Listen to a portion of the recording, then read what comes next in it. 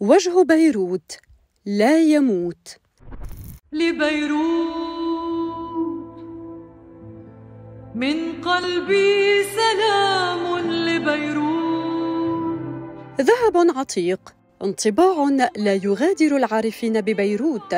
صورة المدينة النابضة بالحياة هي الأبقى في الأذهان لشدة جمالها. حتى من لم يزور المدينة يوما يحتضن هذا الانطباع عنها. في روحه ومخيلته.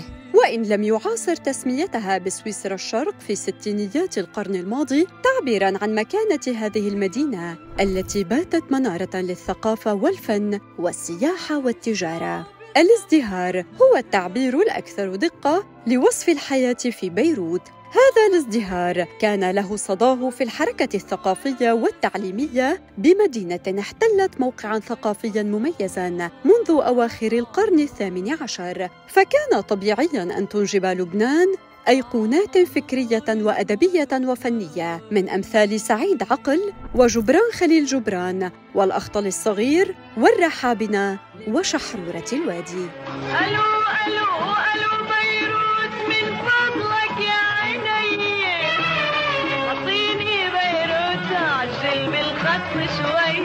دور النشر بلغ عددها المئات في بيروت وحدها ما يزيد عن عددها مجتمعة في العديد من العواصم العربية الأكبر حجماً. وحرية التعبير جذبت الكتاب والإعلاميين والشعراء إليها كملاذ لأصحاب الفكر.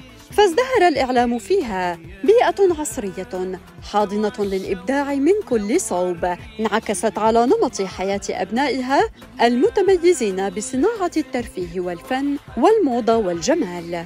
فغدت بيروت وما حولها من جبال خلابة مواقع تصوير ساحرة. لا تحتاج إلى لمسات إضافية وما زالت تلك المناطق تعبق بذكريات أفلام عربية. لا تنسى. الحب الكبير وأبي فوق الشجرة وخياط السيدات.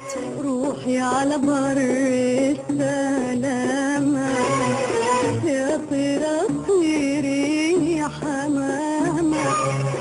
أعمال خلدتها المشاهد الآسرة وأصوات عبد الحليم حافظ وفريد الأطرش وشادية والدبكات اللبنانية المصاحبة.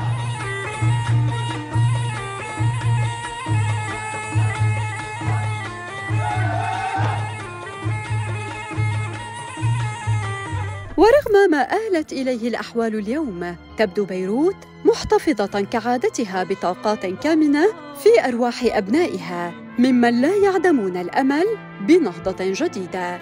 فثمة جينات تورثها المدن لسكانها تجعل من الصعب لنمط عيش قام على الحرية والفكر والثقافة وحب الحياة أن يندثر أو يتأثر إلى ما لا نهاية بأي ظروف عابرة. واليوم في الذكرى الثالثة لحادثة انفجار مرفأ بيروت نكرر التعازي لذوي الضحايا والتحية والحب لبيروت التي تمرض ولكن لا تموت. أنت بيروت.